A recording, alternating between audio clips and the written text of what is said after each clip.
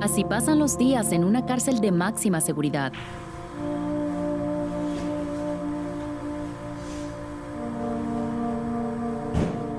Con la mente llena de arrepentimiento y soledad,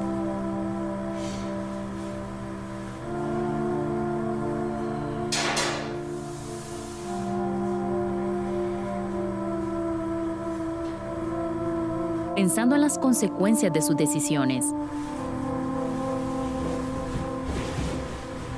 Cuántas vidas arruinadas y familias destrozadas, pero ya no se puede cambiar el pasado.